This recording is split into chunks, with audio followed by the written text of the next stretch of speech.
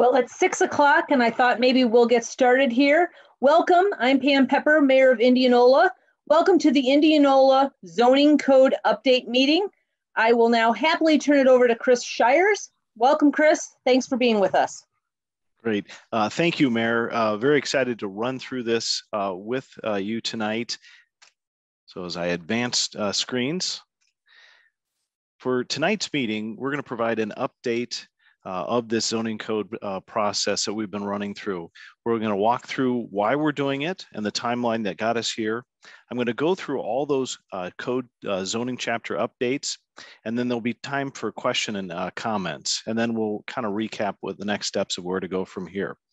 Uh, so throughout the presentation and then towards the end of the presentation primarily, feel free to use the chat feature within this uh, Zoom webinar or the question and answer feature.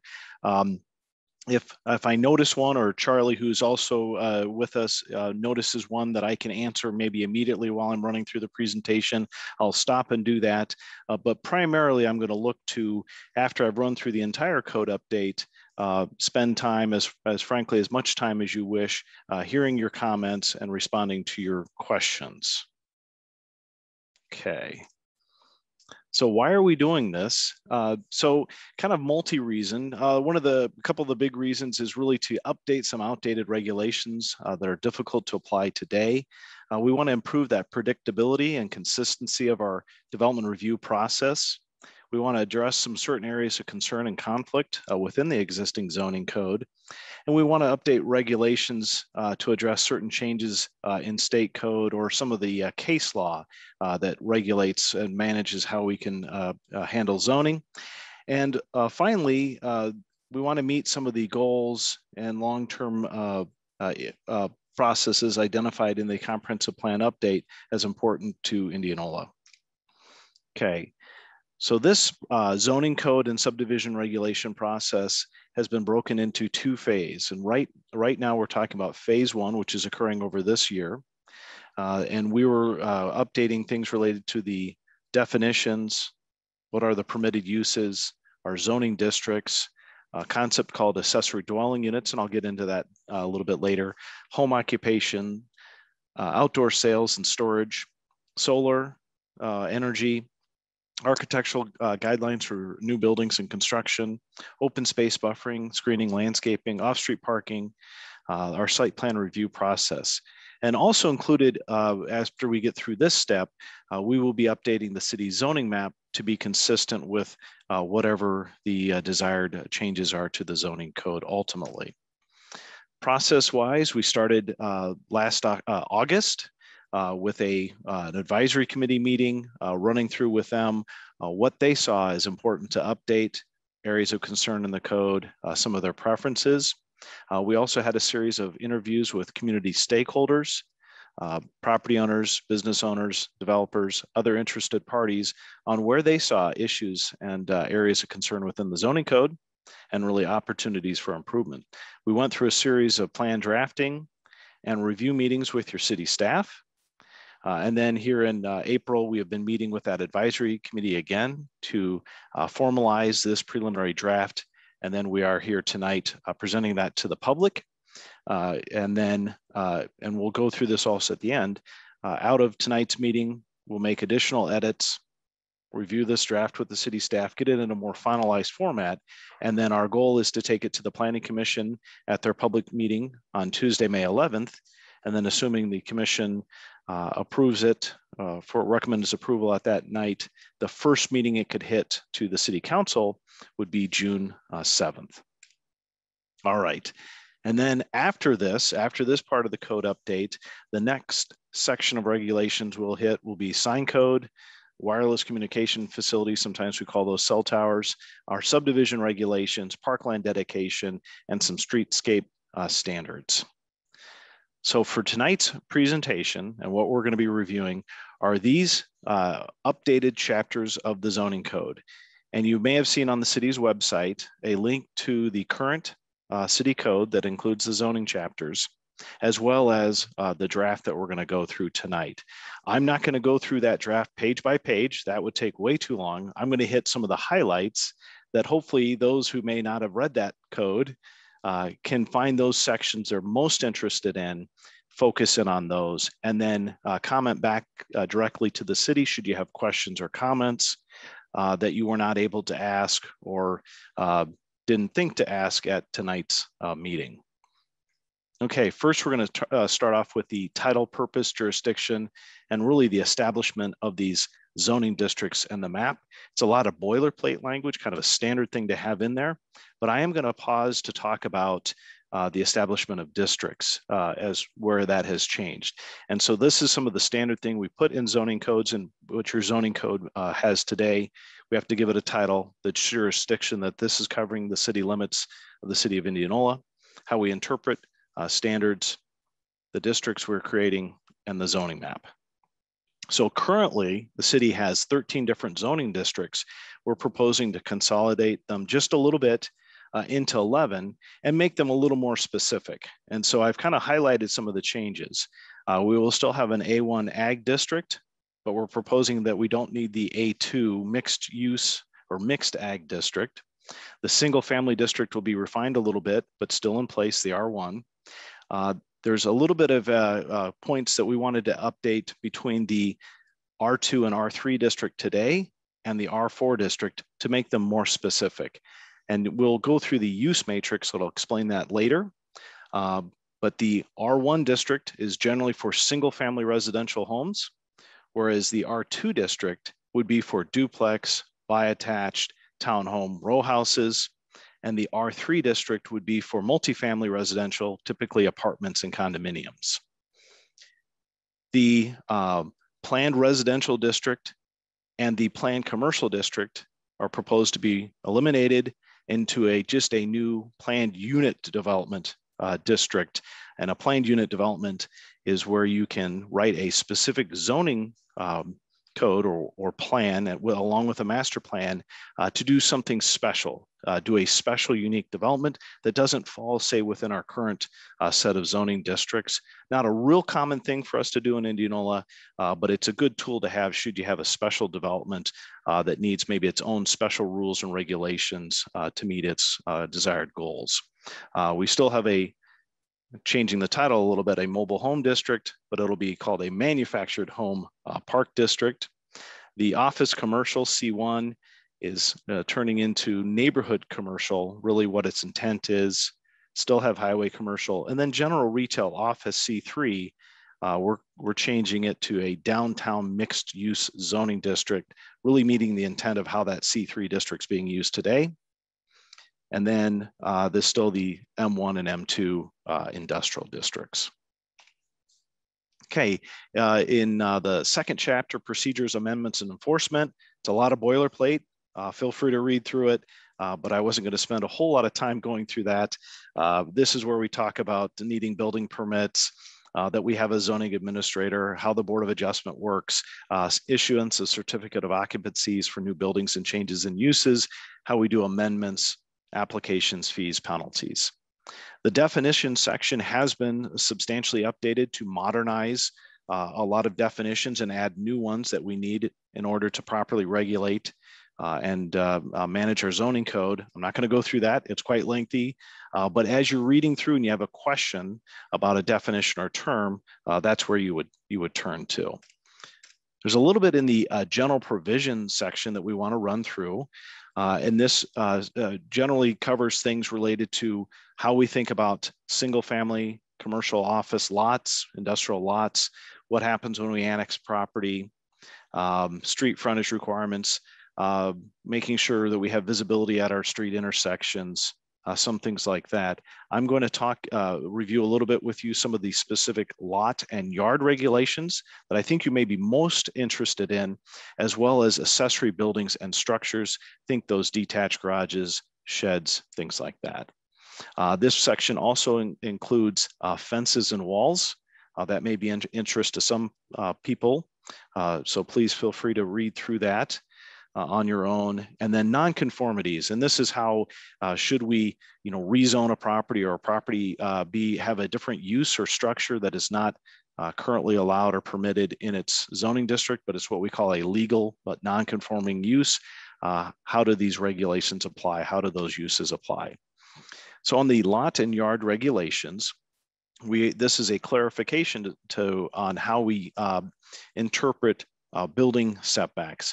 And for your purposes, you might think of this uh, how it applies to say a single family house.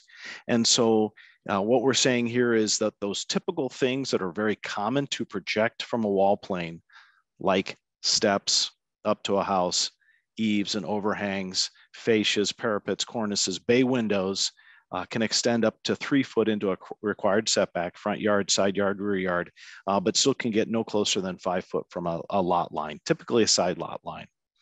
Uh, front stoops, stairs, open decks, unenclo unenclosed porches may encroach up to six foot into the required front yard setback. And so this could be a porch with an overhang. It just can't be an enclosed porch. Can't have uh, full walls. And then stoop stairs, decks, um, not enclosed or covered by a roof may encroach up to 20 foot in the rear yard setback. So think again for a single family house, that's say your uh, backyard patio. For accessory buildings and structures, uh, this also typically applies only to single family duplex, duplex townhome row houses, uh, not to commercial multifamily um, office industrial sites, and their garages, sheds, play structures, gazebos, pools above ground and below ground uh, that are not attached to the house. We're saying that these must be located behind the front line of the building, of the dwelling in this case, can't be in the front yard, need to be maintained or kept 10 foot away from the house, five foot from the side and rear yard lines, unless they're up against an alley, and then we need a 20 foot setback off the alley. There is a limitation on the number allowed, no more than two of these per lot, no greater than no no greater in size than 10% of the total lot area up to a maximum of 1800 square feet. That would allow a pretty darn large garage if you uh, had a pretty large lot. But there's a caveat that uh, in, uh, that uh, you still could have up to a 600 square foot uh, garage should you have a very small lot. And then there's a max height of 24 feet or one and a half stories tall Next section I'm going to roll through is zoning district regulations, and this may be the one that is of greater interest. Uh, this is where we define all the uses, setbacks, and regulations for those different uh, zoning districts that we've updated. I'm going to focus in on the zoning district setback regulations, we call them bulk regulations, and then everything else, the setback and bulk regulations for non-residential uses and then what uses are permitted. And then I'll get a little bit into what is a special use. Uh, also in this uh, section uh, are a lot of uh, other requirements, uh, such as dealing with wind turbines, solar systems, accessory dwelling units, and I'll get into those, home occupation. And then there's other things that tend to uh, apply more to commercial properties, having outdoor display, exterior lighting, um, screening of, of uh, trash enclosures or uh, of trash uh, containers, making trash enclosures, typically for commercial office multifamily properties. Okay, within this section are some tables. Uh, the first table you run to after you go through the list of zoning districts is the one related to uh, all the residential uh, zoning uh, districts. So the, the A1 through R3.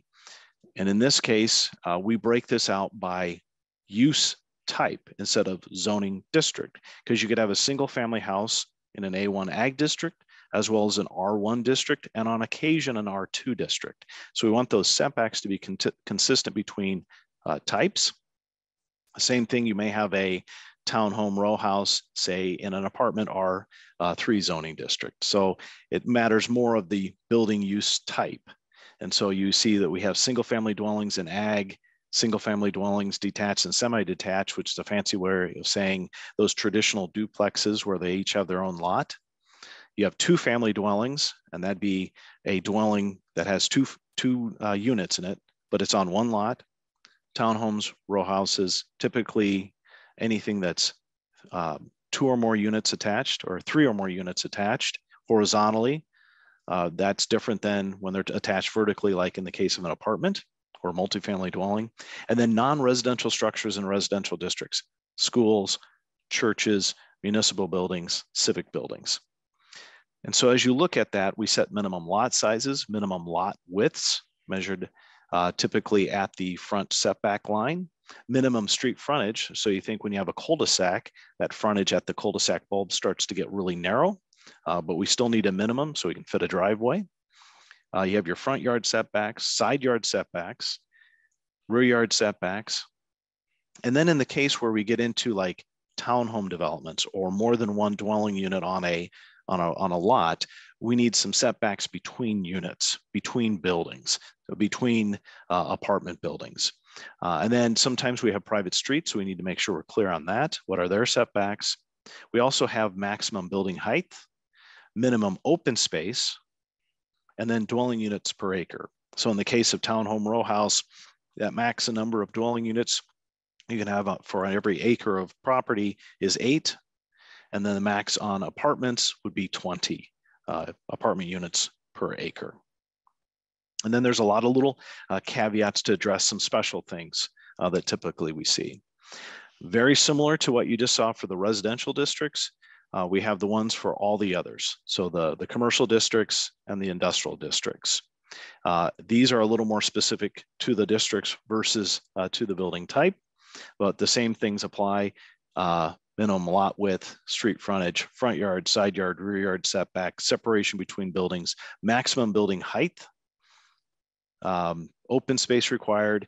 And in the case of the C3 district, which is a mixed use district where you could have residential uses, uh, setting a limit, a, a max number of dwelling units per acre.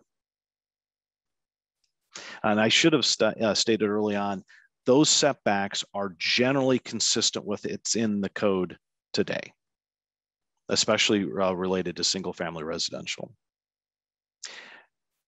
Uh, the next uh, section within this area of code, this chapter of the code, is what we call the permitted and special uses table. And this is a very lengthy table where we break down, we categorize all types of uses into these big, uh, big blocks, and then there's kind of the subcategories underneath. And so the first one in this case, agricultural uses, and we list them below. And then the next one is residential uses, and we list the different categories below. If we list under the, and then across the top, there is then the zoning districts. If when we, where we list P for permitted, that is a permitted use. Uh, you can, depending on the use, pull a building permit, submit a site plan application, and away you go. You don't need, there is not a zoning step. If there's not a P or an S in the box, it is not a permitted use. It is not a possible use within that zoning district.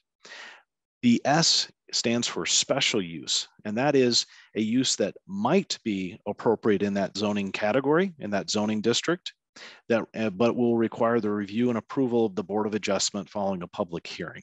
And our code spells that process out. So in this case, uh, folks may be most interested to see in the A1, R1, and R2 that single family detached, think of those traditional single family homes, are permitted in those districts. Whereas the R1, kind of our standard single family detached residential district, uh, does have the ability that somebody could seek a special use permit for the Board of Adjustment to build a duplex. However, townhomes, two family units, multifamily units are not a permitted use within the R1 district. When we go to the R2 district, which think uh, uh, uh, uh, townhomes typically, uh, you can see where uh, townhomes and row houses, where you could still do a single family home, a duplex, a two unit, townhomes and row houses, but apartments are not a permitted use. And then when you go to the R3, which we think of as the apartment zoning district, you can't do single family because we're trying to separate uses a little bit, but you could do duplex, two unit townhomes, and of course apartments. And so the code kind of continues and builds that way. What we also show is this concept of an accessory dwelling unit. Sometimes we think of them as granny flats, mother-in-law suites. Uh, in other situations, you might think of you have an apartment that you can rent above your garage. Uh, a little more common in other areas of the country than it is here in the Midwest or in Iowa, uh, but it's something that uh, your um, comprehensive plan did uh, consider as a way to kind of increase uh, the amount of housing options available in the community uh, but there are some stipulations in this. If you're going to have an accessory dwelling in it, uh, there's a couple of different types, and I'll, I'll get into this section of the code again later on. Um, it could be within your house, It could be a separate structure. It could be, say, above a garage. It can't be larger than your current house, has to be uh, subordinate, if you will, and the owner has to live on the property. Uh, those are kind of the big caveats, as well as you need a special use permit from the Board of Adjustment because they're going to review things like do you have adequate parking and what it's going to look like. I'm not going to go through the entire table because it's lengthy, but I kind of want to show you how it works. Uh, so then we, under the commercial uses section, we kind of list commercial uses by their intensity and type. Uh, but one thing I did want to note is um, we, we have restaurants and we list you know, where uh, they are permitted as well as where drive-through facilities are permitted because a lot of different types of uses have uh, drive-throughs, bank, dry cleaner, restaurant. Okay, oops, and that went right out of order. There we go. So uh, a couple other provisions in this uh, section of code. Uh, we did add a new uh, section uh, related to solar energy systems, so photovoltaic panels, solar collectors. Uh, but there are two um, concepts on how these can apply. You could allow them, and, and we're proposing that it's permitted by right, obtain a building permit and you could put one on your house or your commercial business. So on the right side of the screen, we show what a roof mounted uh, system would look like, say on a house, or in the, the image below uh, on say an industrial office building. Actually, this is the office I'm in right now. On the left uh, side of your screen is what say a freestanding ground mounted array would look like. And so what we have proposed in the code is that it only be rooftop uh, mounted and that with a few provisions to try to kind of limit the visual impact of that, but still a permitted type thing. Uh, there are some folks that have commented, why don't we allow it on uh, in a ground mounted situation? Uh, we did propose in the code uh, that say ag uh, zoned property or industrial zoned property greater than 10 acres in size uh, could uh, could do that uh, if it's in, say, the rear yard area. So that'd be something I'd be interested in a little bit of discussion, say, at the end of the meeting. You know, real quick, and I'm going to go back to this because I just saw the, the question pop up. So can you explain the reasoning behind the 30 foot minimum setback for all, all of R1? And so I can look on my screen here. I don't know if you can see where I'm tracing. So the front yard setback in R1 is 30 foot. Uh, and that is out of your, your current code today. So we weren't proposing any drastic changes to uh, your building setback standards, specifically as it relate to say a single family residential. Uh, that's what your code says today. And communities are a little bit over the board. Some of them go down to, to 20 feet, some of them go up to 35 and 40 feet. So it's really a community preference, but often we have to think of having enough setback to also accommodate a driveway. But that's a good question. Also within this chapter is thing, uh, are the accessory dwelling units again, with some very specific provisions. And again, the, the reference back that they have to be owner occupied. The owner has to occupy one of the two units, and it does require a special use permit from the Board of Adjustment. We also uh, kind of consolidated and clarified and created a standalone section for home occupations. These are businesses you'd run out of your home. Uh, all those typical customary ones are listed. We do state that not more than one person who doesn't live in the home uh, can be employed at that home occupation. You can't use more than 25% of the floor area of the home.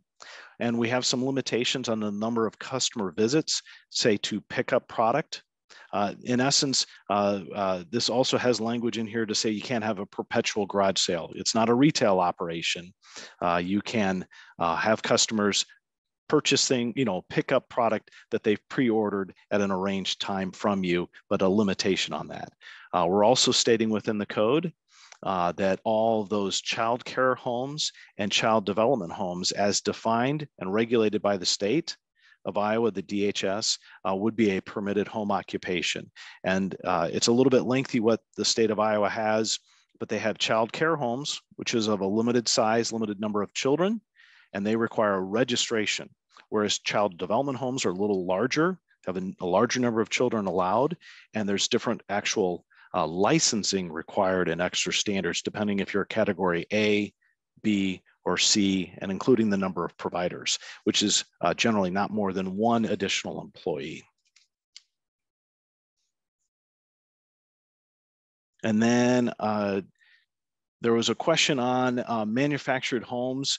Uh, I can sure go back to that. Um, uh, basically, we're not messing with your current manufactured home ordinance, uh, just a little bit of refresh and update to it, and including uh, just maybe a few little uh, tweaks and provisions in there, uh, just clarifying it. Uh, we do need to have a manufactured home zoning district. it'd be really hard as a community not to have that, but whether you zone an area for a manufactured home uh, park development uh, is definitely a, uh, a, commission and council decision. I hope that answers that question.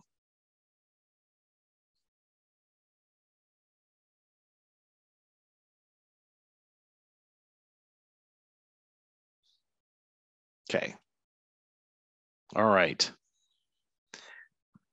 So under the site plan regulations and procedures, wanted to touch up on a few changes that we're proposing with this on how we manage site plans. Uh, this section also deals with a little bit on design standard. We didn't change that too much. Uh, and then uh, condominium conversions, just how if somebody does want to take an existing or new apartment building and uh, go into Iowa law and change it into a condominium regime or a housing co-op, how does the city code uh, regulate and address that? Uh, so first, uh, you do need a site plan application and a site plan to do uh, uh anything. Uh, that is a common thing, whether you're building a fence, a garage, a new single family home, an ag building, or a commercial building. but that level of site plan in the process does need to differ based on what you're asking. Site plan for a, a fence can be very, very simple. Uh, and should be very simple. Uh, as site plan for a home uh, doesn't need a lengthy review process either. And so ag-related and single-family dwellings, their accessory structures and fences just need to submit a uh, basically whatever a sketch plan the building official needs in order to issue a building permit.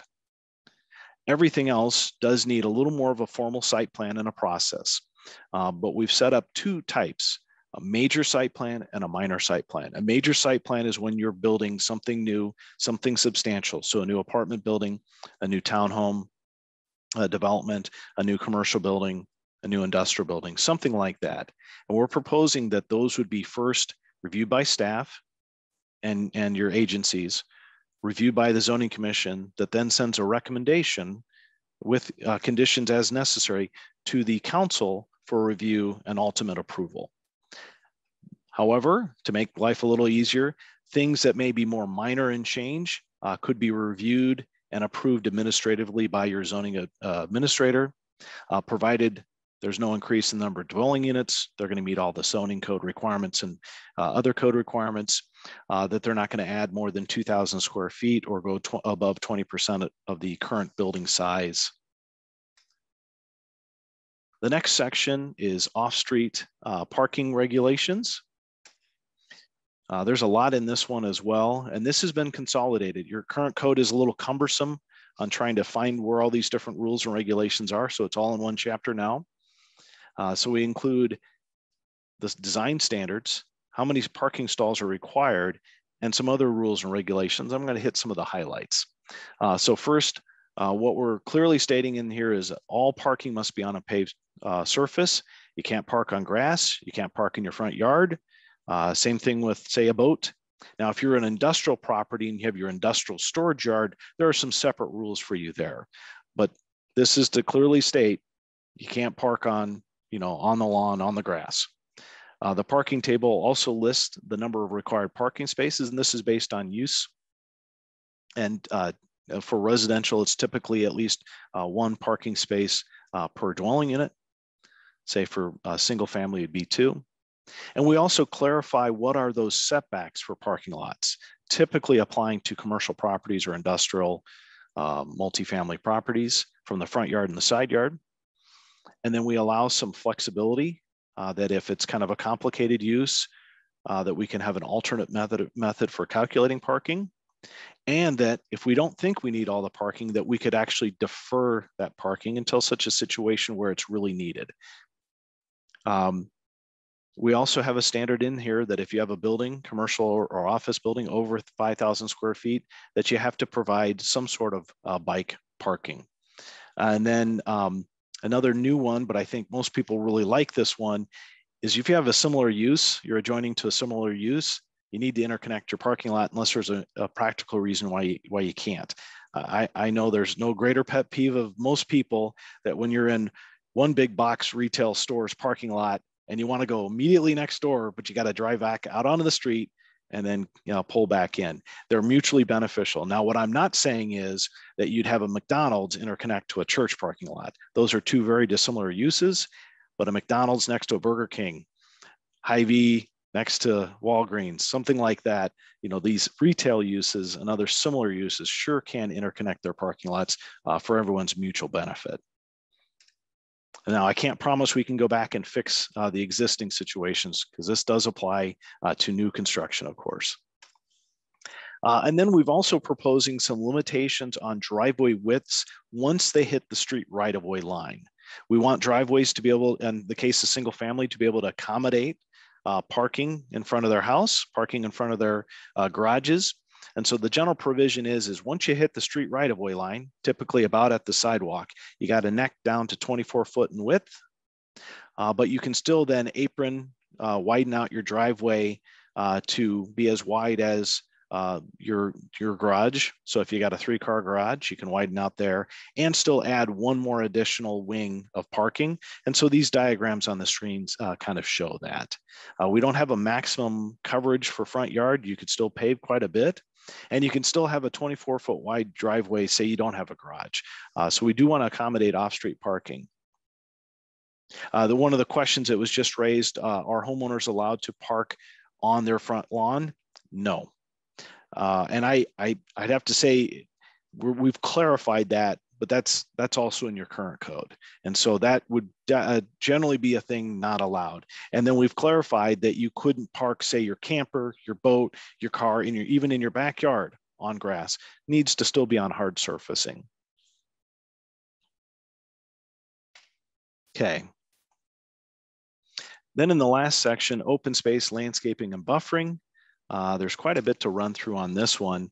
Uh, and this is a consolidation of, again, some of the things that are in your code today, but putting it into one chapter. Earlier on, you saw that we had an open space standard uh, set for all the different zoning districts, not necessarily a really steep standard, 20%, 25% open space, uh, depending on the, the uh, zoning district. Uh, but we have some uh, landscape standards related to percent open space. And again, this applies only in new construction or substantial addition remodel, uh, uh something uh, pretty significant. And typically most of this is applying again, not to single family residential, commercial office, industrial, uh, multifamily residential. We've also clarified some of the buffering requirements, landscaping within parking lots, and then the plant materials list, the review and approval process, and that this landscaping must be maintained and replaced if there is die out. So what's in the code, and this is consistent with your current practice. And again, this only applies in brand new construction. So a new subdivision with new homes being built, uh, the requirement is two trees and four shrubs per single family lot. All other situation, it's tied back to the minimum amount of open space required. So for every 2,000 square feet of required open space on a site, I have to have one shade tree, two ornamental trees, and two shrubs. Now we have some additional provisions for parking lot landscaping. Uh, and this diagram is trying to detail what we're talking about here. So we have to, we're requiring landscape islands. And again, this is for commercial, office, multifamily, uh, that type of use, not single family. Uh, anywhere you have a parking lot of a certain size, uh, and again, in new construction uh, or a substantial remodel renovation of an existing site, uh, that you add landscaped islands at the end of all rows, parking rows, that all parking spaces need to be within 100 foot of an overstory tree, a shade tree. And then if we're fronting the parking lot along the street, which sometimes we are, of course, they're going to have one shade tree and two ornamental trees for every feet of every 50 feet of uh, frontage. And uh, requirement for some sort of a three foot tall uh, screen uh, from the parking lot. We sometimes call it a headlight screen uh, along that street frontage.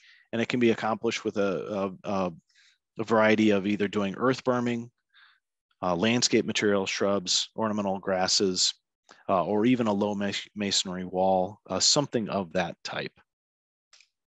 And so just some images kind of showing that, trying to green up our large parking lots. And then that little bit of landscaping along that uh, street edge really can help soften a site. And if done right with some sightline uh, investigation, you can see still see your building wall signage. And then later on, when we update the sign code, you'll be able to see your, your ground mount monument signage. And wait till we get to the sign code next year. That's even more work. Okay, we also have some standards for buffering between dissimilar uses. And so, and again, this is going to apply in, in new construction or new scenarios. Uh, can't necessarily go back and retrofit these in. Uh, say you have a, a C store, a gas station being built next to a single family home. They need to install either a 30 foot wide or a 60 foot wide landscape buffer and then in the code, we have provisions for both. If you're doing a 30 foot wide landscape buffer, you have to do a certain amount of trees and shrubs, evergreen trees with some berming. If you're gonna widen it to 60 feet, if you have the land to give, uh, we kind of reduce that landscape amount. And if the site is kind of squeezed and it's impractical to do this type of buffer, uh, the city can approve, say, some type of a buffer screen uh, wall. This provision also requires double frontage lots. So this think a single family residential subdivision, again, new construction, something that would occur after the adoption of this ordinance, that the homes back up to an arterial roadway, a roadway where they're not going to have their driveways. We call those double frontage lots. They're getting their driveway off the internal street. Their house backs up to a major street, uh, another street. We call those double frontage lots. In that situation, we're recommending that they be required to have a 30 foot wide landscape buffer park and that they actually not have a fence within that, uh, that their backyard starts uh, after the buffer. And in fact, the building setback line is measured from that buffer line so that they still have the standard backyard that they can fence in, uh, but this is in addition a, a add on to their backyard. Uh, this has worked in other communities. I know this one can be a little controversial with the building community because we are making the subdivision wider, but we think it helps keep those homes um, having long-term value, especially if they're backing up to a pretty significant roadway. Uh, it is a good buffer and it helps green up your street, your city, uh, that you have this green frontage uh, versus kind of the calico mix of uh, fences. Uh, prime example, your, your neighbors to the north, if you drive Highway 28 in Norwalk, uh, especially right off of Highway 5. You head south, you see that kind of mismatch of different fences right on the, uh, the highway right-of-way line. It's not the most attractive thing, and, and that community would agree. Uh, and in fact, they have this same type of provision uh, now to not have that scenario going forward in the future. And I hope that is clear as mud, because that's a hard one to draw a diagram. I should have taken a picture along Highway 28. I didn't see any questions come up on that. Okay, and we're doing pretty good on time. My goal was to be less than an hour talking and give you guys plenty of time to ask questions. But the building design standards is something that is new and it and there's a lot to it. And so we we have to define it, its intent, why we're doing it, what it applies to, the exceptions, and define some terms. Um, I'm going to run through some of the general provisions, that table of exterior building materials, and the standards by which we apply them and so we're applying this again to new construction or additions that are less than 20% uh, of the original building size. And this is cumulative. You couldn't come in and do a bunch of little additions and try to sneak at, uh, uh, uh, sneak under the, uh, the rules on this. And I'm going to talk a little bit of what's called building facadism, application of materials. So uh, building facadism, a prohibition on that, that's where you do a fake element to, to try to meet some kind of strange design uh, requirement. And so and these, here's some pictures of that. Uh, these little kind of fake screen walls and fake little parapets uh, that really don't serve a purpose. You sure could do a parapet, uh, but but we're wanting architecture that's real and authentic. And I think Indianola has had good success uh, with that over the years. When we use different types of materials, that be should should be used in the way they were truly designed. And a lot of this is really coming back to we really hope you hire an architect or, or a design professional that knows what they're doing. And so on the top picture, uh, we have, uh, uh, this is an example of thin set brick, lick and stick uh, brick, sometimes we joke and call it. Uh, the, the image below shows the proper use of this type of material. Uh, the wall has a dimension to it that, that allows this brick to real, read as if it's real brick. We have actual brick corners, cut corners, there's a course on top. So when you see this as a finished building, it would look real.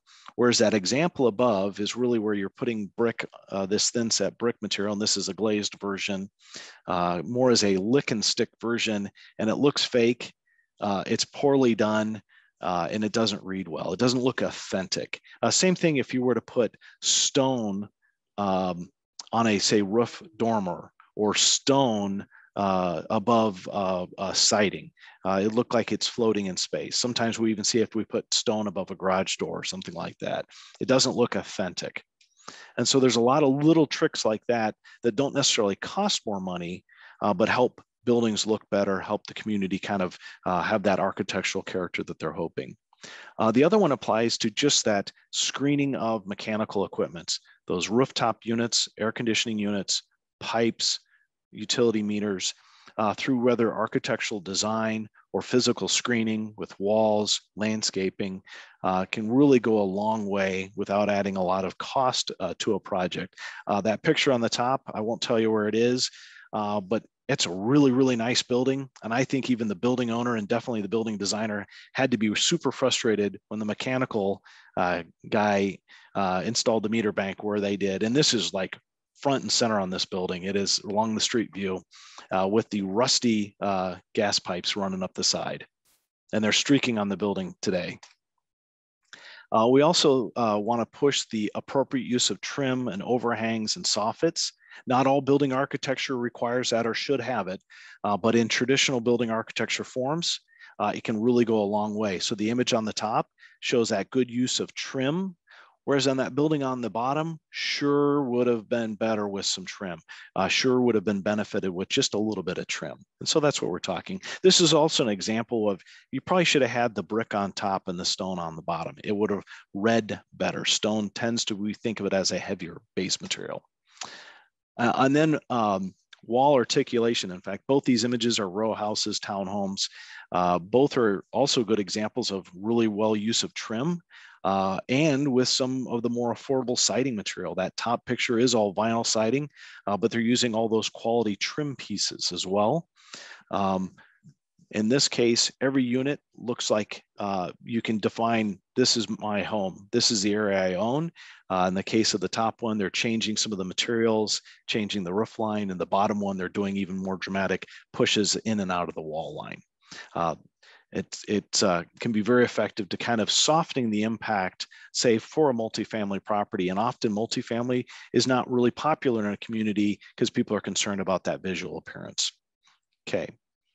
Now with that, we've, we've tried to classify building materials uh, into some categories. We call class one, two, three, and four. Class one and two are those top materials, what we really want to see a lot of depending on, on where it is. Class three is kind of a standard or base material. And class four is a material we tend not to want to see very much of, especially on the street face. And most of what I'm going to go through next, we'll talk about street facing facades. And we break all these materials into some big categories. So masonry and stone. And you see where we have uh, real brick and brick veneer, class one. And that, that's that thin set brick I was talking about. That's class two.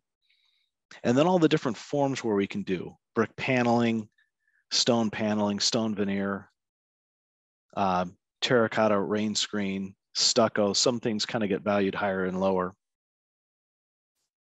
And then concrete mason units, concrete block. But there's some really great concrete block like cast stone, which is a really, really nice material. Uh, so that can be a class one.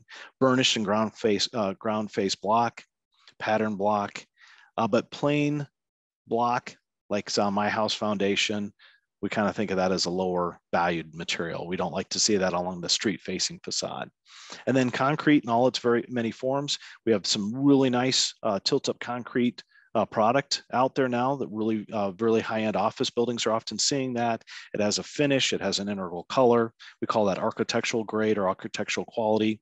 There's some really nice cast in place stuff.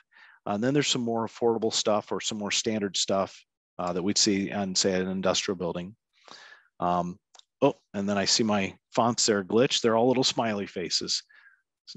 Um, so that here's everything related to metal. And so there's all types of metal siding and metal paneling. So that top quality, architectural quality composite metal wall panel system. Uh, funny enough, this stuff can be actually much more expensive than real brick. Uh, it's a very high quality product. Same thing with that next one. Uh, this is when it's an architectural quality metal panel that's insulation, has insulation in it. And we thought those were both class one. And then as we kind of go down the metal, uh, we, we kind of uh, value it a little bit less till we kind of get to just standard metal siding as a class four. Then we have glass on the bottom, clear glass, curtain glass, glass wall systems. That's one. We love that stuff. We think of that as a high value material. Uh, and then you kind of see some of the other stuff where tinted glass and mirror glass, a little less so. Uh, but spandrel glass, we think of that a lot for office buildings. Uh, that's basically that's a, uh, a glass that has a color or enamel coating baked into it. Uh, we often use that in uh, designing an office building that is all glass. Uh, we try to do a little definitions and pull out brand names where we can just for references. Then we kind of have all the other materials. And where this is where you'd probably spend most of the time kind of arguing what's the class of some of these. Uh, so cement fiberboard, think HardiePlank siding. Some love it, some don't love it as much. That there's a more a higher architectural grade of that uh, by uh, uh, Nichiha. Uh, you know, so that's up, that's valued higher. You also have vinyl siding. We tend to value that a little bit lower. So with all those different categories, and we did the same thing with roofing materials. Going forward, the community could make adjustments to this over time. Add a new material as it comes on the market, or upgrade or downgrade a material. And there's a flexibility written in the code that should something be shown to you as, oh, wait, that's a pretty high quality. I think it's more like this material. You as the city commission, council staff uh, can make that kind of value decision because this, this will be one of the harder things uh, to implement as the city going forward. And, and it would also be the one section that I would say in a year or two revisit and don't be too scared of uh, to make an amendment to. So I didn't show ag buildings and single family residential because basically we're not getting too specific and trying to have any uh, building material requirements on them. Uh, that's a real tough one to regulate. Uh, so we are jumping straight to townhomes and row houses. And in this case, we're saying that, and when we say primary facade, it's generally the street facing facade where the, where the street is, must have at least three different class one, two, or three materials or four materials. Uh, they have to have a mix of materials. Pick three, so window and one kind of siding and say some brick uh, stone at the base. There's your three materials. Uh, need to have its own deck, patio, rooftop, uh, some type of uh, outdoor space like that. And we want each individual unit, so showing those same pictures, to have its really own uh, facade. Uh, to be differentiated uh, somehow. And so both of those pictures are, are ways that that's been done. So vertically attached residential, that's a fancy word of way of saying apartments, condominiums, uh, we get a little more strict. And so in this case, have to have three different materials, but only from class one and two. So those are those higher value. Again, on those street facades, covering at least 40%. So in this case, brick, window, um, stone, or another type of uh, masonry product covering at least 40%. And if they do a lot of windows, you can get there pretty quick. Um, have to have the good quality roofing materials, no elevated walkways, uh, each uh, dwelling unit again should have its own porch, patio, deck, rooftop patio, or shared amenity space. So sometimes our developments are doing dog parks and gathering spaces and barbecue pits and things like that. Uh, that would also be appropriate. And in this case, since apartment buildings start to get bigger, uh, we need that facade broken up at least every 60 feet, pushing in out of the wall plane, uh, something uh, like that, or columns. And so this is a building example in this image is trying to show that. Now we have non-residential buildings in residential zoning districts, churches, uh, civic buildings, schools, things like that. Um, so we have a, a slightly enhanced standard. Each street facing facade has to have three different class one and two materials that make up at least 50% of the building facade, have to have the quality roofing materials, and again, must break up their facade uh, at least every 60 feet with a change of wall direction plane, uh, something like that. And so here are examples of uh, another building that would meet that standard.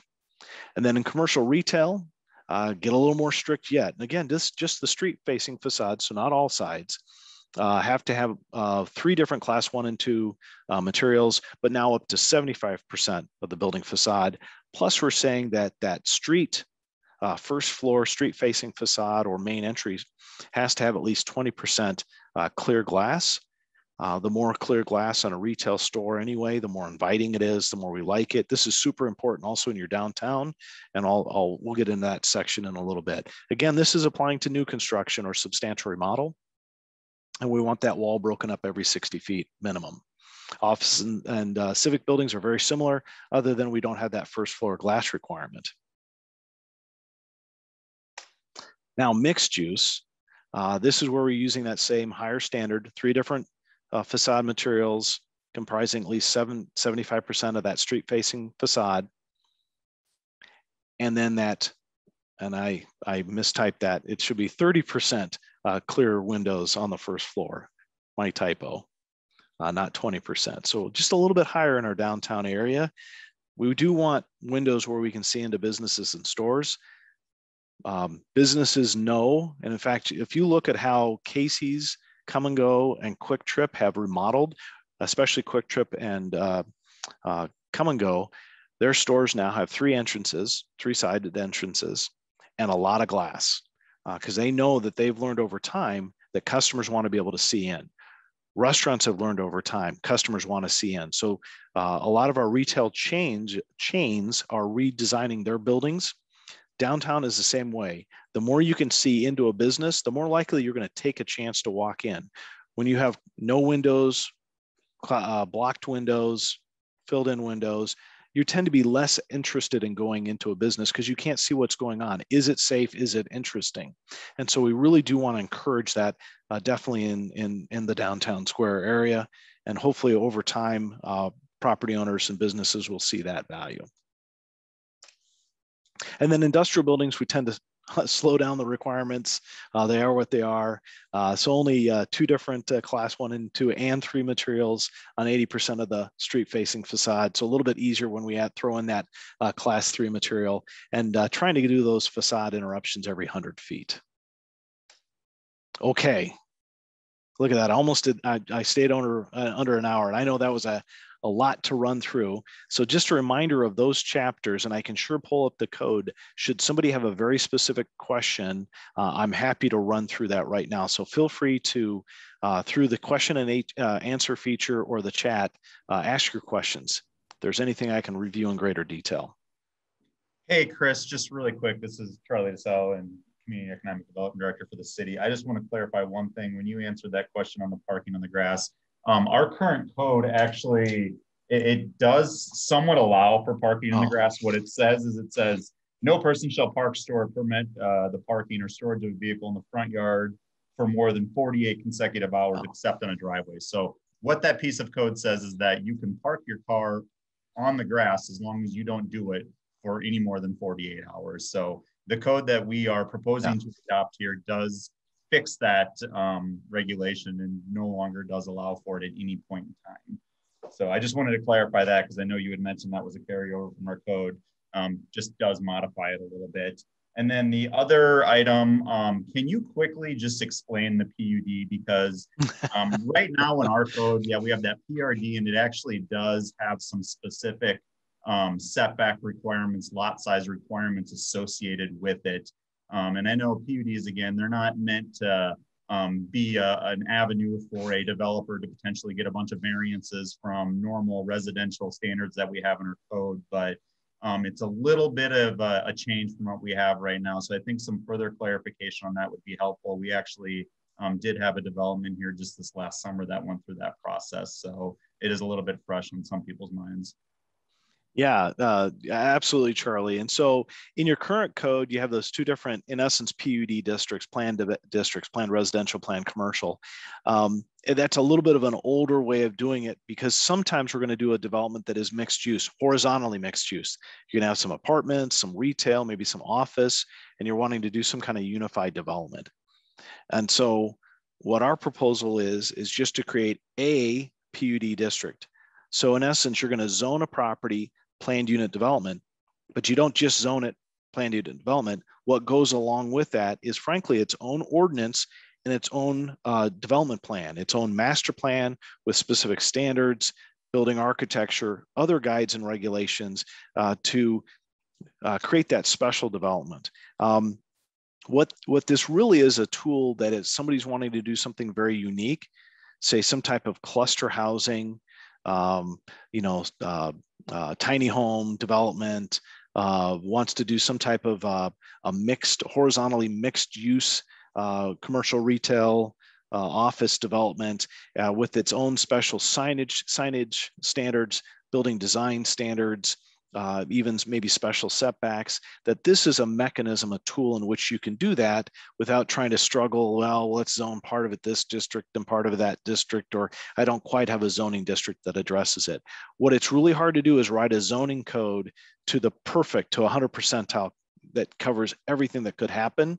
We tend to write to the 90th percentile of everything that could happen and then allow the PUD as its own mechanism. So the PUD itself is like its own uh, mini uh, zoning code. You may reference sections of your current code, but typically you're setting building setbacks, landscaping, signage, whatever special things you want to address uh, and cover.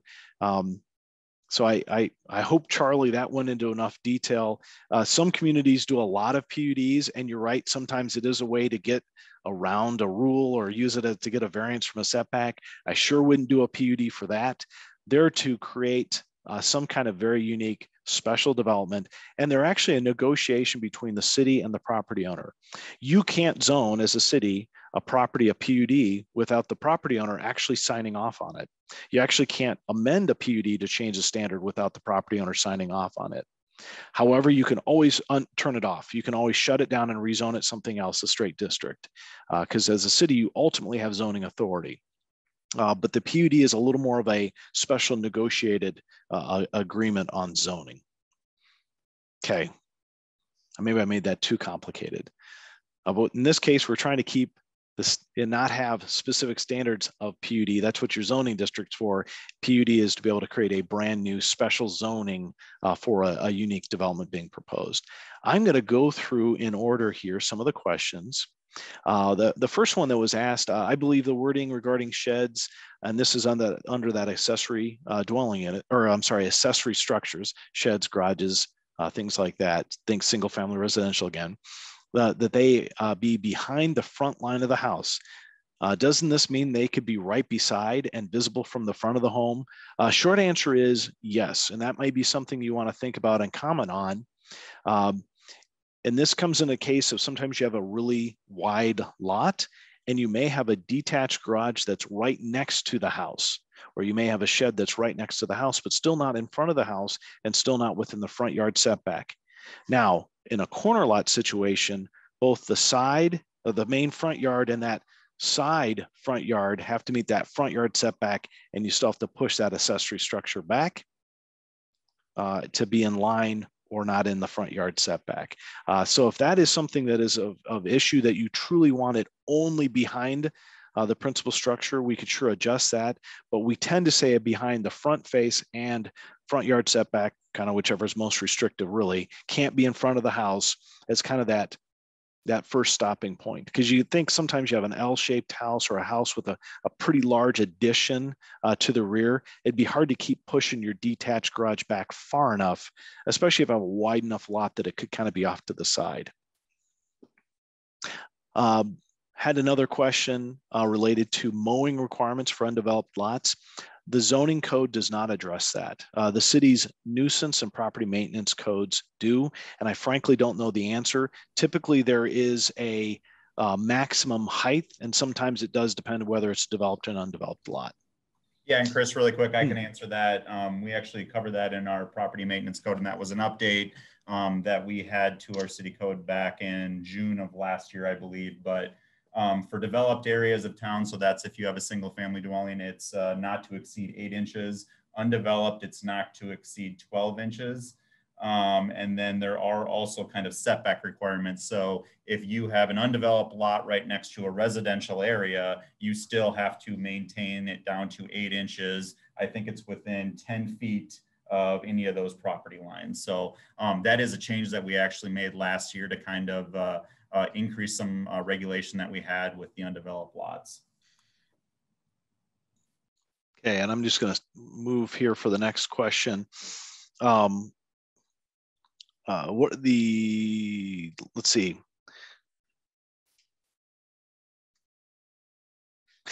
I, I, I, may I think this one's slightly different. So requirement uh, requirement and maintenance rules for undeveloped lots to be, and I'm assuming prairie grass.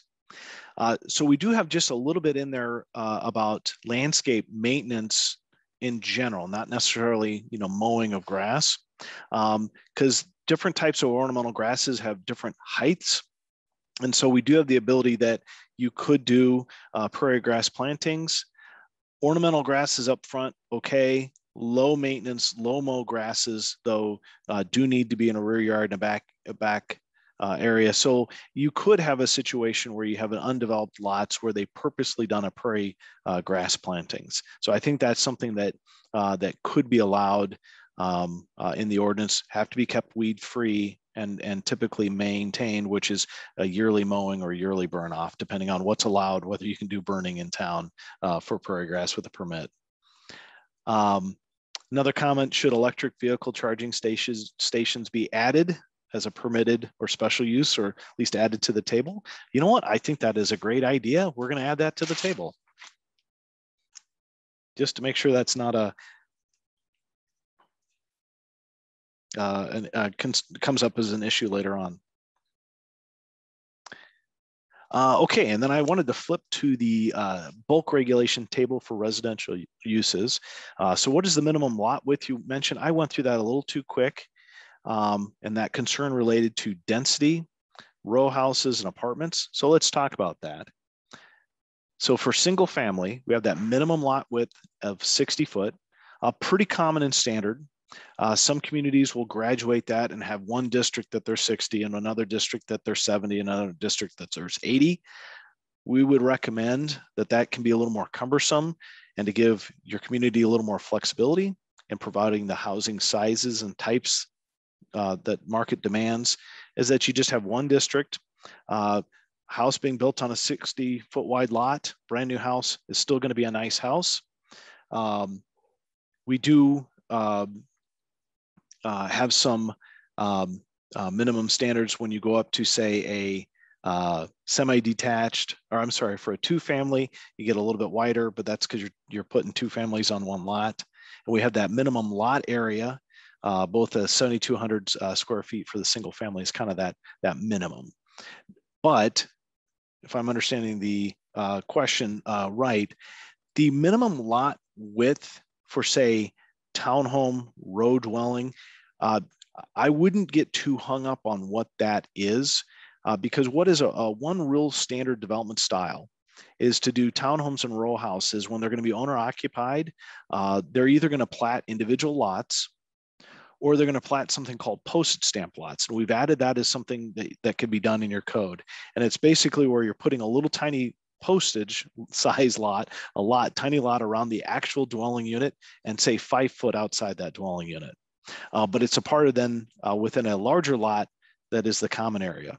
What I think is probably more of a concern to the community is the setback between buildings.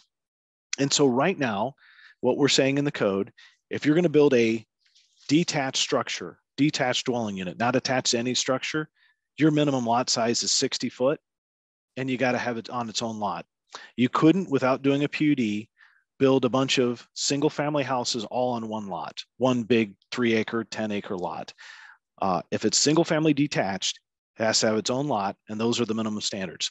If it's a two unit bi-attached, it also has to have its own lot, minimum 70 foot, uh, 70 foot wide, 8,400 square feet. Now, townhome we divide as uh, we define as being attached to three or more units. So a three unit, uh, three in a row, four back to back, side to side kind of a, a layout. We don't get too hung up on minimum lot size because we have that density standard.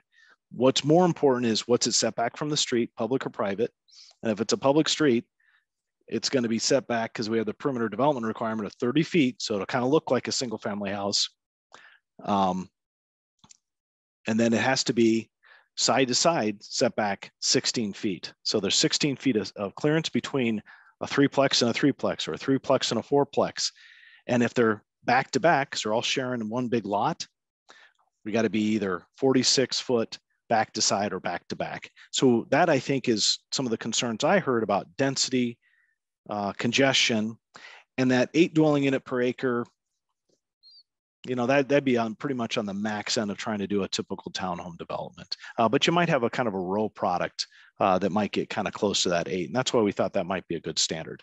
So i hope that clarifies um, uh, that intent there.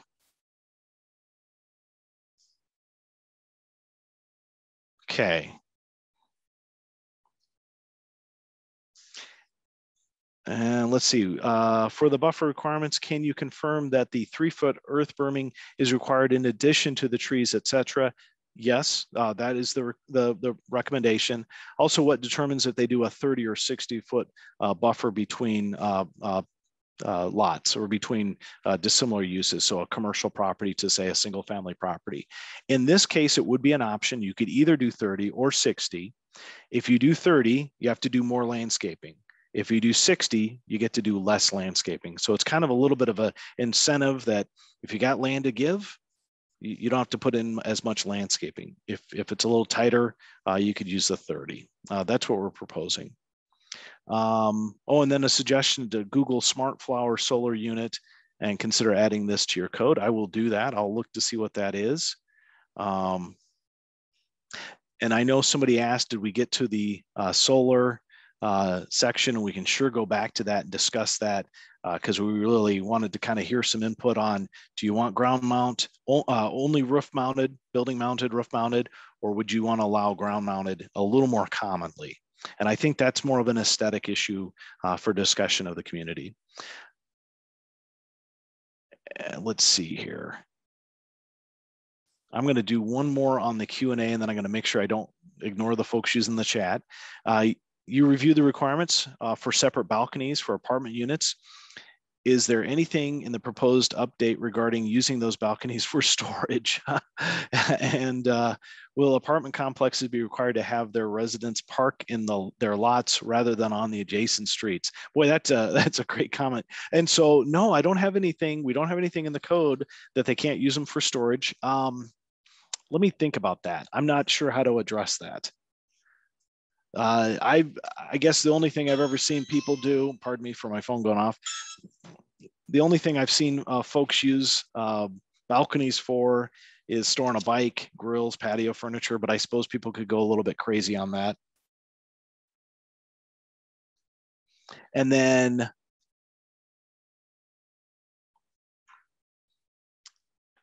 about the parking in the lot.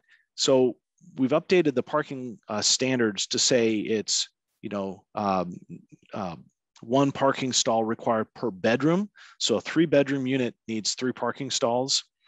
A one bedroom unit needs one parking stall. So kind of a good universal standard. But we've added a provision that if they do garages, unless those garages are specifically tied to unit, so like Sometimes we have garages that are in the first floor of an apartment building and you enter the garage and you can go immediately into your unit. Unless you're a garage like that, garages only get a half count. So if you build a four unit garage, you only get to count two parking spaces as fulfilling that need. Because I do know that we have an issue with uh, in general, not an Indianola thing necessarily, people don't necessarily rent garages or they rent them for storage. Or people not even in the apartment complex will run them from storage. Apartment owner will rent them to whoever will will pay the money. And so uh, what I would hope with this new parking standard, as well as the the, uh, uh, the standard that even townhomes have to have off-street parking, uh, help alleviate some of that on-street parking uh, concern. And I've, I've heard that from other folks as well. Uh, let's see here. Let's go to, well, let me make sure I have everything else answered before we go on to this solar. Because I just want to show those pictures. So, because uh, somebody asked earlier, did he or did did they join too late? Well, heck, heck no, you're you're right on time. Uh, so related to this discussion, so we've added a, a section related on uh, solar energy systems, photovoltaic, and they could even be heat solar collector, but that's very uncommon now. But sol solar photovoltaic is typical.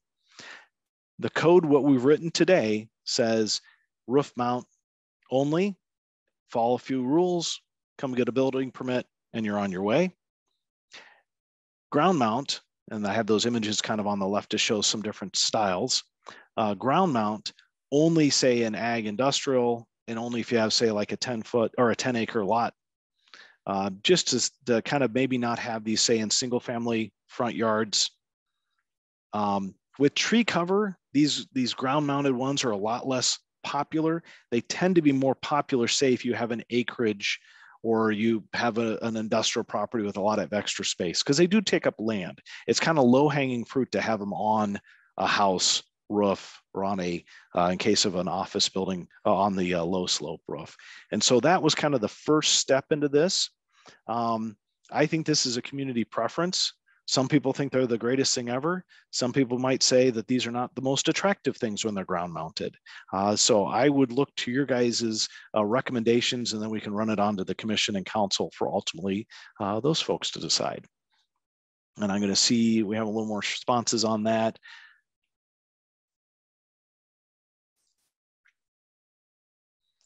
Uh, yep, just uh, making support for uh, uh, solar, and I think solar will be the the kind of the new wave or continued uh, wave here in Iowa. Um, you know, if you look at like Fairfield, Iowa, uh, uh, very successful. I know we have it on our building right here in Des Moines. Um, more so than say uh, wind energy, that's much less efficient in town. Uh, so uh, one of the questions is, can you explain how the proposed regulations would apply to current properties that do not meet the regulations? In most cases, they're not going to apply. Uh, this only applies when you're building new or building a substantial addition or tearing down everything and building new. Uh, so uh, if you are going to build a new garage today, after this is adopted, the new garage has to follow this rule. If you're going to build a new house, after this is adopted, new house has to follow these rules. If you're going to install a solar system after the adoption of this, it's going to follow these rules. If you've got one today that was permitted and that was legally installed, legally permitted at the time, or you legally built a garage and now doesn't meet these setbacks, uh, we call that legal nonconforming and it's a grandfathered building or grandfathered use, and you have a section of code that we didn't change uh, that addresses that. And so there are provisions that, you know, if it was destroyed, uh, you know, in a fire or natural disaster, uh, beyond a certain point, it couldn't be rebuilt without uh, coming into compliance. Uh, we didn't want to try to make too many nonconformities, so we didn't mess with building setbacks uh, that greatly. Uh, but we did push the design standards. That's really what a lot of this code update has to do with looking at parking lot parking lot counts, how much we need, landscaping, uh, building design. Uh, and there is a, an allowance within the, uh, the, the, building regulation uh, standards uh, that should it be not make sense to do this addition uh, to, to, come in compliance with the new standards because it, it, it kind of ruins the site or doesn't look right, that you can make allowances for that.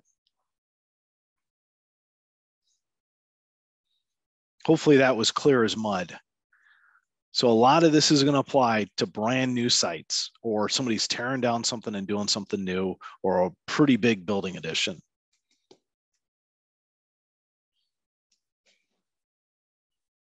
Let me make sure I didn't miss one. Are there codes needed for us to support downtown and traditional neighborhood developments with greater connectivity and trail use? Um, I don't know if there's anything specific related to zoning that you need to add in addition. A couple things that are that are included in this code that I didn't go through uh, specifically in the off-street parking regulations. We do have a requirement. We want our buildings and our sites connected to the public sidewalk or trail. Next season here, next year, when we get into the subdivision regulations, we'll be looking at parkland dedication and provision of trails.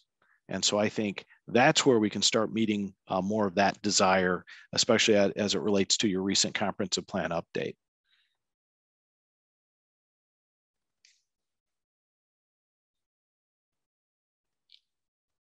You're a diehard group to keep listening to this guy talk for an hour and 15 minutes. Oh, uh, here's a question I can't answer. When will we have a park behind uh, the Walmart area? Anybody want to take that one on? Charlie?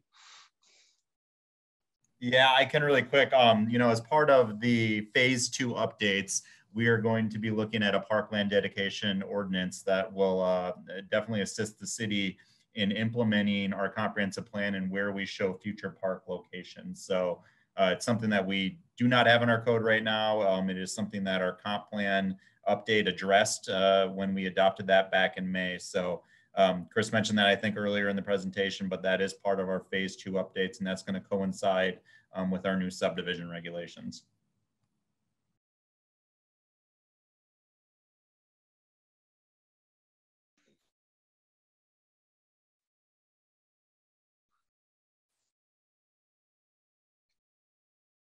For those of you who are, who are with us, anybody have a preference on do we want to allow these ground mounted um, solar panels, photovoltaic panels a little more freely and not just on large 10 acre sites? Um, or do we want to keep to rooftop only? At a minimum, I definitely say you want rooftop. It's a good thing. And there's some provisions in here to not make them, you know, uh, too garish, but still that you can do it. It's it's really an aesthetic decision. Oh, uh, let's see here. Are a few more just popped in. Uh, let's see. There are uh, are there any requirements that would cover dilapidated buildings, i.e., sheds, on a property with a new home being built or on an existing home. Uh, so uh, Charlie talked a little bit about the city's uh, recent uh, property maintenance code. So Charlie, you might have something about dilapidated buildings. Um, yeah, that's kind of a kind of a little fuzzy area. If you have an existing lot, an existing house, an existing garage, and you knock down the house and you want to re replace the house, um, chances are, you know, you could leave that garage alone. Let's say it's not meeting one of the setbacks. But I think your question's a little bit back to dilapidated. And so I think that's probably more of a property maintenance code uh, requirement. Um, yeah, and I and I can jump in on that. That is, we do have a dangerous building, um, unsafe building code um, that we've used in a few instances um, with some examples. Uh, I think that's kind of similar to what's being pointed out within the city. So um, it, it's all an enforcement thing. Um, enforcement sometimes uh, can get very tricky, especially when you don't uh, get compliance um, from the person you're trying to enforce on. So, uh, but yeah, we do cover that in there, and uh, we have used that. And if anybody uh, knows of any of those around town that would uh, that you'd like us to take care of, just please um, let the community development department know about those. We sometimes joke that we uh, in code enforcement don't necessarily go looking for trouble, uh, and so sometimes a, a phone call from a neighbor is helpful. Uh, let's see here. Uh, did have one person comment, hey, you know, rooftop would be my my preference. Um, and then another question uh, said about uh, st uh, storage unit uh, zoning. Can you review that? Oh, uh, yeah, let's just go to that. I don't know that I pulled that section of the use table. Let me stop sharing and switch screens.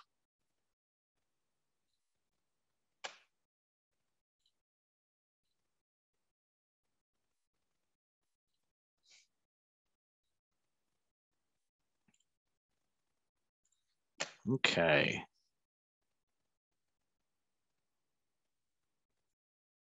Oh, my PDF is too big. Do you see it just crashed? Darn it. Please forgive me.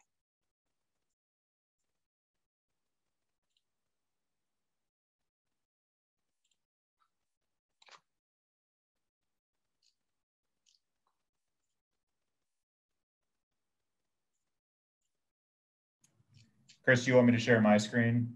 Yeah, here I almost have it up. I just it, it collapsed. Okay. Unless you want to go, unless you have it open right now, go for it.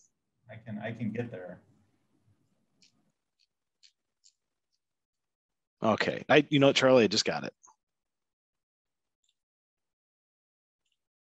So much easier in person sometimes, right? All right, so I've zoomed in on the use table and so we have mini uh, warehouse or self-storage uh, facilities, uh, and then in the different zoning districts. And in this case, indoor only, and there's that's been uh, even a more popular thing where they're doing multi-story uh, storage buildings. Uh, it's permitted in your industrial districts only. And then outdoor storage, say campers and boats and cars that you're going to put in a lot, again, only in your most intensive um, industrial district, your M2 district. I hope that uh, answers the question. So that would mean one of those mini storage buildings couldn't go in your downtown district or in your commercial districts. They need to go to industrial. And the guys that build them really like to be on the big streets too. So there might be a little bit of pushback on that one, but that's your guys' decision to make as a community. Um, one person did comment, thought ground mounted solar is okay with appropriate requirements. And I, I'm, I believe I'm going to get some more feedback on that. Um, another one thought rooftop. Okay. Now I do have the whole use table open. Oh, let me go to this other side here. Another thought, if we're going to do ground mount, maybe the, those could be special use permit, uh, but not straight out permitted. Um, and maybe there's even a lot size requirement. So allow maybe on a smaller lot, maybe it goes down to say five acres or something like that. Uh, yeah, so I think those are some things to consider. So instead of jumping up and saying we can only do the ground mounted solar on 10 acre lots, what if it's five acre lots and maybe has a little bit less to do with zoning and we have to go to the Board of Adjustment for a special use permit?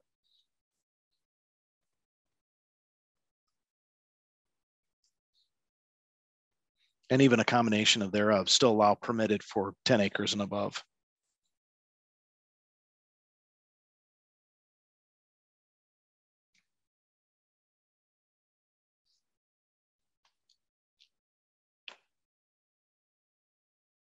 Uh, one question, are there uh, modernized street standards uh, we should take into consideration uh, with a focus on safety for drivers, pedestrians, bicyclists? Boy, great question. And that's more of a complete street or street design uh, standards kind of manual or specifications, typically not something uh, we put within the zoning code. Uh, zoning codes, we tend to think uh, it's everything outside the public street right of way. So it's all in essence on private property. Um, I I think that that is something that uh, your probably your comprehensive plan does have kind of as a kind of a bigger picture discussion is complete street street design, making it uh, better for bikers, walkers, cars, all all users. So I appreciate that comment. And uh, so, you, you are correct on that. Our comp plan does uh, have that as an implementation measure. So we hope to get to that at some point.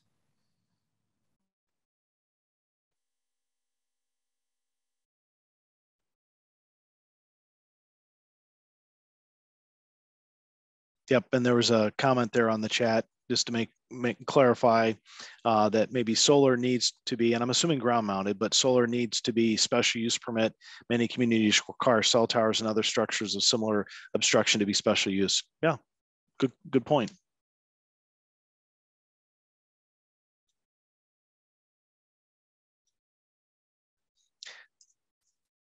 And if we go down that path, there may be some additional uh, standards or regulations to give some guidance to the Board of Adjustment. So it's not just quite a as much of a jump ball to them. it's not so much fun as a, as a board member to have to count heads in the audience to see which way to vote. They should have some standards by which to decide.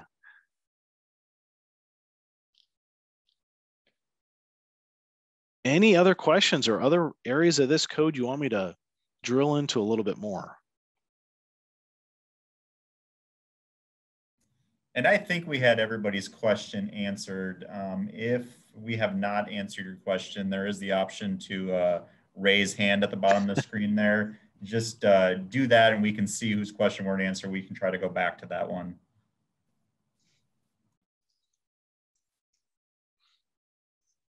Or if I glossed over it too quick.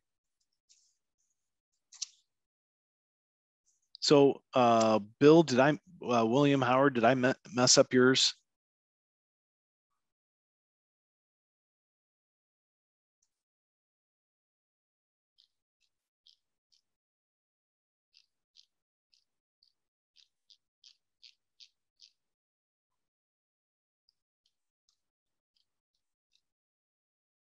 I, I don't, and maybe either type it again um, or send either directly to me or Charlie or in the uh, Q&A or jump in. Yeah, there we go. Even better. Yeah, I just I, I allowed you the opportunity to join in if you want and um, just kind of talk live rather than do the chat. So if if there was a comment that you had, uh, feel free to jump in.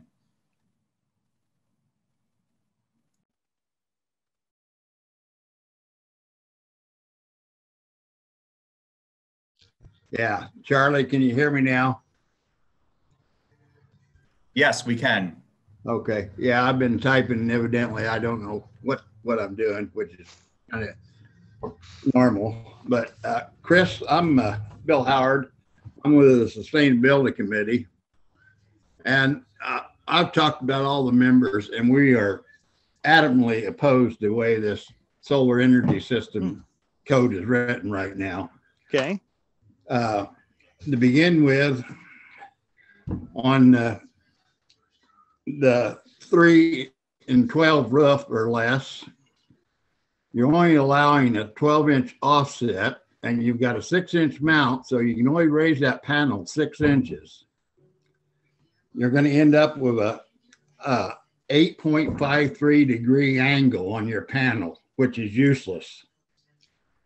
Optimum. Are you saying a 12 a 12 4 pitch roof? Uh, a, a three on 12. Well, those are pretty rare. Uh, building code would say you can't do shingles on a 312, so we don't tend to see well, those in residential construction. You, have got it. You've got it written in your code here. Mm-hmm. Yeah, no, and I, I, that's why if you actually have like, hey, this is what I'd recommend. Write all this. I, I, I that's why I meant in the chat. Boy, send those send those to me. I would love to have it, especially from an expert group like you guys, where you're thinking and living and breathing this all day long. I I, I, I would really value that. I, I think Charlie has all the information. I emailed it to him earlier today. Mm, great. And yeah, because the way it's written, I mean, it's, it's useless for a flat roof. And there's so many, there's so many reasons we ought to have ground mounted solar, it's not even funny.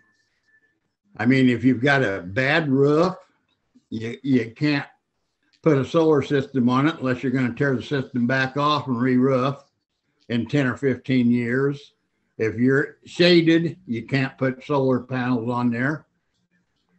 Uh, a ground mount it, it takes care of so many problems, easier maintenance, and and I just as Bevington today the city, the bank over there has got a 23K ground mount and they've got signs all over. They're proud of it. Fairfield's got them and they have a lot of pride in them. We ought to be encouraging solar instead of discouraging it. And the way, the way this solar code's written, we're discouraging solar use. Yeah. And, and I think that's uh, uh, some excellent comments. And one thing I, uh, the intent was not to discourage uh, having an angle on low slope roofs. Um, uh, some of that provision, and I actually see now when I'm reading this kind of the confusion in that. So I think there is room for some clarification. Some of that pitch and standard uh, is related to when you're actually putting on 412 and above. Uh, kind of the more uh, standard residential roof. Uh, so your low slope uh, commercial roof, that's not the intent to say you can't have any pitch. I mean, you know, mine on this building are pitched pretty good. Yeah, well, you're saying 12 inches only. And that, And that's standoff from the, the, the, the, The the sloped roof. roof. Yeah. So I think that's a good one for us to clarify. I appreciate that. most codes that I've looked at in solar allows five foot elevation. So uh, yeah, and I think it's there's a huge difference between whether it's on the side of a, a house's roof or versus on an you know commercial building's yeah, low right. slope roof. Yeah, yep. I think that's that's a, a good comment for us to fix. But I definitely think we ought to have a ground mount solar. Because it, it solves so many problems. Well, I appreciate your uh, your comment about even roof repair. Before we put ours on this building, we did a brand new roof, uh, just so that wouldn't be an issue. Since they have about a 20 year life and the roof has a 30 year life. We, we have a heel house here in town that is waiting on a fifty thousand dollar grant. Solar design's already been done and it's a ground mount under this provision. They couldn't even do it. So, so there, there's a lot of reasons to have ground mount. Like I said, Fairfield, all the businesses down there got ground mounts and they're proud of it. They're displaying them. So I, I think ground mount is uh, uh, really an answer for a lot of problems. If I can ask you from a from eh, besides that roof pitch on on that that standout or uh, uh, angle from the uh, roof pitch and and fixing that up, was there anything else in this? And I guess you you've already sent uh, Charlie comments, so maybe I want to ask. Um, do you think, like in some of the chat, some of the people commented, well, what if we, you know, say, uh, you know, certain situations the the ground mount needs to get a special use permit from the Board of Adjustment? Well, I, I think it depends on the size of the system. Hmm. If, you look at most solar codes, I sent uh, Charlie a link for uh, uh, best practices in zoning for solar. Mhm. It's put out by the NREL. He has that link, and if, and if you look, they break solar systems down to three different sizes. The small systems, they don't even require anything other than a permit for ground mount. Okay. Maybe like cl- that smaller standalone array that I had in my images. Yeah, right. Sure. So, you know, I think you need to break it down in sizes as far as your ground mount. But, but I think, I- think, I mean, if you've got a well shaded house, which helps your energy efficiency, I don't think you want to go cutting trees down in Tree City Indianola. To put solar on your roof. And a ground mount, you have, might have sun all over your backyard, solves the problem, you know. Mhm. So I guess that's my comment. So I think, yeah, there's several things we need to look at in that. But I Yeah. think I sent most of it in email that Charlie received, so. Well, perfect. Well, Bill, I, I definitely appreciate you doing that. We'll, we'll take a look at that. Um, and uh, especially your time tonight and giving us some comments. So that, that's why we're here.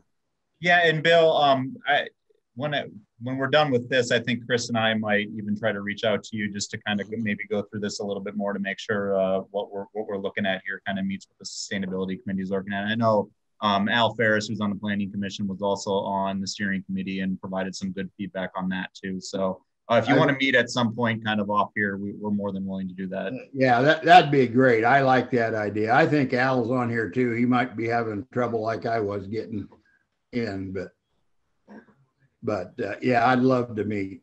All right, sounds good. We'll do that. Great. Thank you, Charlie. All right. Anything, uh, any questions at all or comments? And I, uh, thank you for uh, some folks that added some additional uh, comments in the chat. So I think this will be one of those sections of code that we got to spend a little more time on and make some refinements to. Hey, Chris, one thing I wanted to clarify, the, one of the first questions that came up about the accessory buildings and, and excuse me Mm, mhm. one second, because I lost that um, the code that I have here. Let me get to it. Yeah, But it basically like sheds being at it can be up to the front line of the house. yeah, so we and and you might recall, and I was looking at it. We actually carried over the existing regulation that we have in place right now that only allows for them in the rear yard. Well, maybe I wrote that down wrong, Charlie. So And I'm I'm getting if you go to 16504, it would be the. I'm still familiarizing myself with some of this, so give me a second here. Yeah, um, that's section D. It says accessory buildings and structures should only be erected to the rear of any principal building. And then no accessory structure shall be located between any principal building and any street, nor shall any accessory structure extend past the front face. Okay, no, I, you're, you're right. I'm wrong on that one. And it it's one of those and this is a tough one and i i think you guys brought up a good one to kind of review and think about. And i almost want to draw this out but if you think you got a, a little bit wider of a lot and you got a detached garage um, but your house kind of extends back you know there's plenty of situations where that detached garage may start uh, in line with or you know halfway through the the side of your house because it's an L shaped and you have an addition that's running into your backyard a little bit because you have a, a, bigger lot. Yet you still want your garage not all the way in the back corner of the lot. And so yet I also see kind of the point, well, do I want to shed really right up next to the side yard of the house? And so if I've got an eight foot, nine foot side yard, I'm going to sneak in a little shed five. Well, so you couldn't do that. So in most situations, most standard single family lot, you're probably not going to have that situation because you're not going to meet the separation from the house and the five foot uh, setback uh, from the side yard, or you have to meet the setbacks of the house.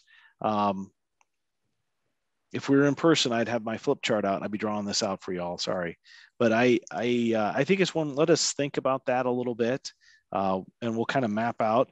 Um, it's just it's on a really large lot that this would apply. You're kind of your standard single family 60 to 70 foot wide lot. You're not going to see this. Uh, corner lots are covered otherwise because we call it basically having two front yards. Um, yeah. Yeah, and I and I think we can kind of talk about this a little bit and take that comment into um, account because I think the comment there is talking about sheds, um, and we're kind of not differentiating much between a smaller accessory building and a larger accessory building. So um, we can try to strengthen that language a little bit. Yeah. To, to help out. So electric car charging station. Um, solar. And this whole accessory structure location is kind of the big things I heard for tonight that we need to do a little more work on. Anything else that everybody listening in uh, wants to ask?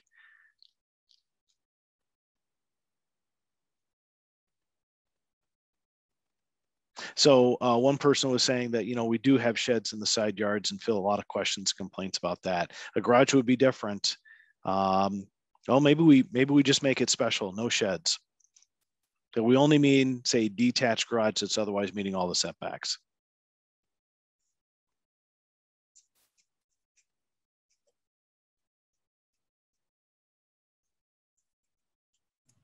Yeah, I think that's a good way to handle it. Um, and then before we get some people to jump off here, Chris, I know you had one last slide that kind of talked about next steps, and I want Right. to I want to Yep. go over that real quick too before we start losing a lot of people here. Exactly. Let me just uh, switch screens really quick.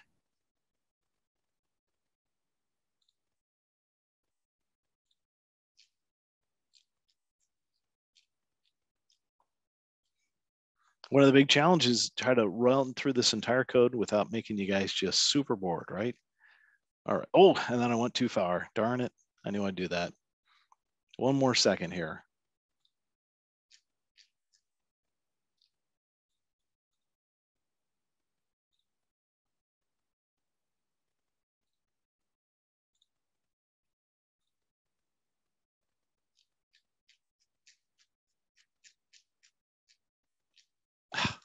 Big file, pardon me.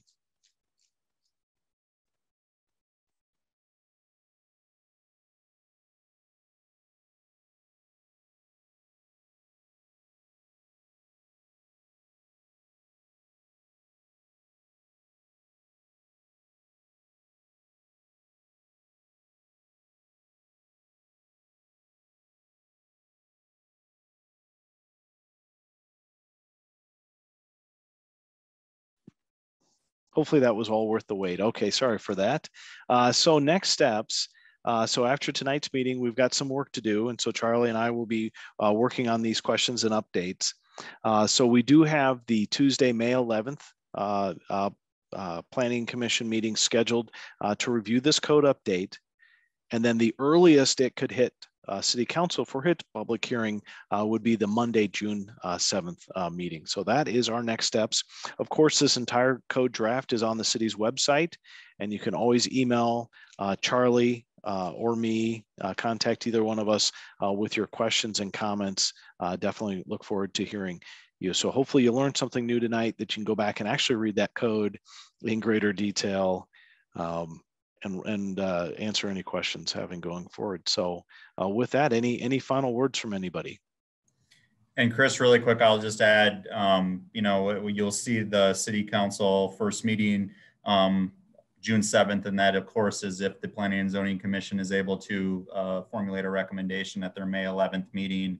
Um, the soonest the, the council would have their final consideration on this would be um, the first meeting after the 4th of July holiday, which I believe, looking at my calendar here, is um, July 6th.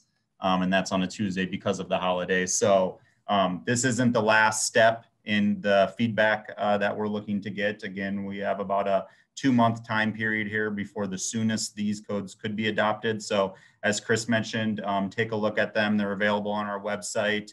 Uh, review them. Uh, please call me at any time with any questions. Email me with any questions. Um, same with any feedback. Uh, we'll, we'll, take all of that in and then we will provide that um, to the commission and, and if we're past that point to the city council during their review. Well said. Okay. Well, we definitely appreciate everybody's time tonight, your interest uh, in your code um, and your uh, continued uh, growth in Indianola. Uh, so with that, uh, uh, go go hit the, the city's website and start reading.